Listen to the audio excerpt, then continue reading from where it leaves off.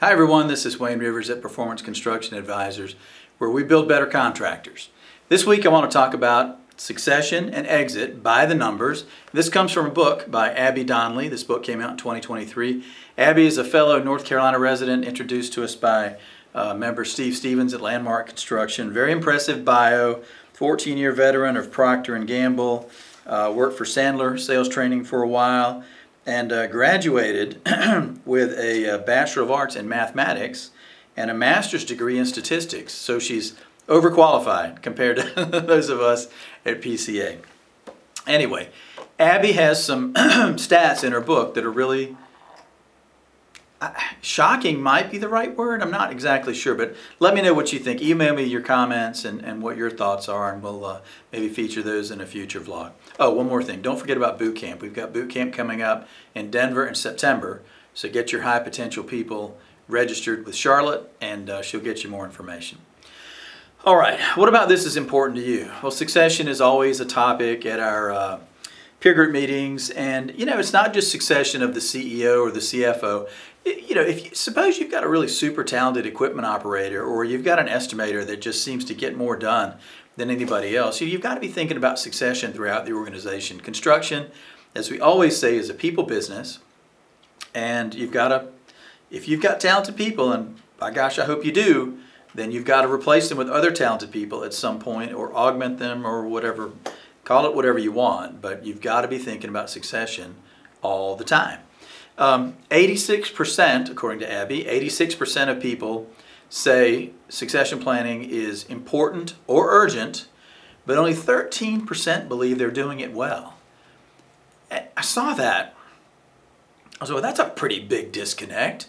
If only 13% believe they're doing it well, why are they not looking for additional resources or additional help or additional information or something I mean, if you you know you know you're not doing something well, why would you not strive to improve it?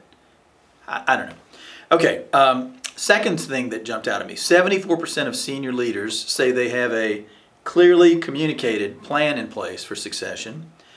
but 78% of successors report there isn't one. Again, a pretty huge disconnect. I mean, that's that just that just strikes you right in the face. Of senior leaders, who are 61 years old or older who wish to retire within five years, 55% have not chosen a successor. Now, I might quibble with that a little bit. I don't think it's entirely up to the departing leader to choose to anoint a successor.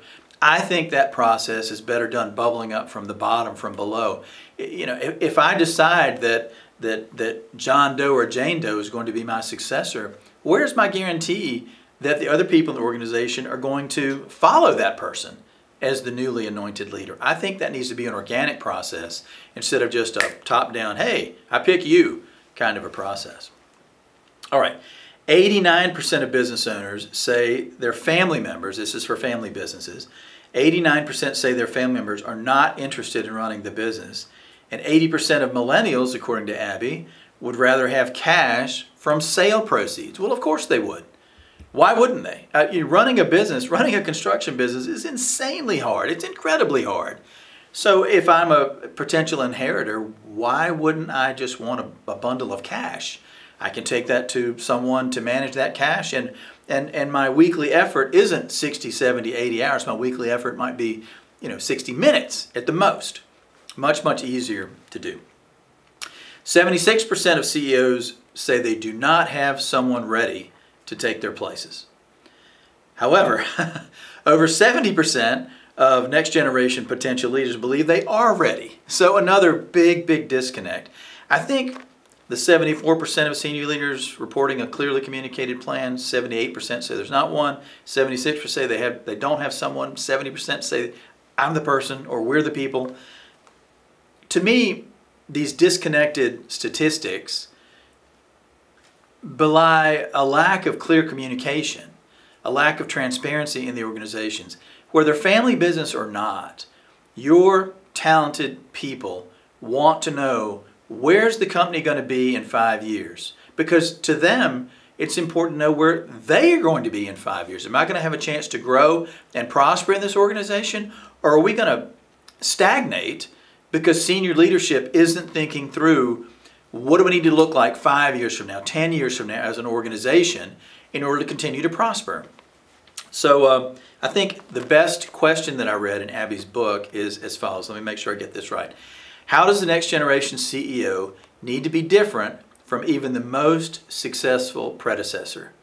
You know, we talked ages ago about um, Marshall uh, Goldsmith's book, What Got You Here Won't Get You There. And I believe that. If you look at construction companies of today, 2025, and you compare them to, say, 2019, five, six short years ago, they're different. Your people are different, your software is different, your methods, your delivery methods are different. Something, maybe a lot of things are different. In five or six additional years, things will need to be different still. So, what does the next generation CEO need to be different from even the most successful predecessors? A really great, thought provoking question. I recommend Abby's book. Pick it up, see what you think, let me know. Uh, send me an email, and don't forget about boot camp. This is Wayne Rivers at Performance Construction Advisors, where we build better contractors.